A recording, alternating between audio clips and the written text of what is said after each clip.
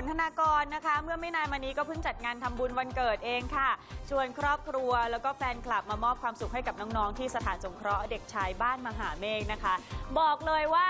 มาเป็นแบบโหนทั้งทีต้องไม่มีคำว่าธรรมดา เพราะว่ายกวงดนตรีตัวเองมาทั้งวงเลยนะคะ เสียงเพลงต้องมา คุณพ่อนี่ก็มีมุกตลกตลกมาให้นะคะรวมไปถึงกิจกรรมที่ทำอีกเยอะแยะมากมายเลย กิจกรรมเยอะพอๆกับแฟนคลับเลยนะคะที่มา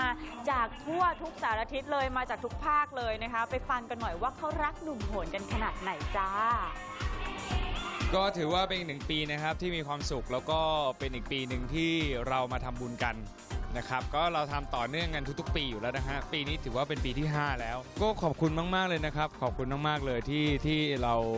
เอ่อเขาเรียกว่ามาเจอกันนะครับ ก็ติดตามน้องมาตั้งแต่น้องประกวด comedy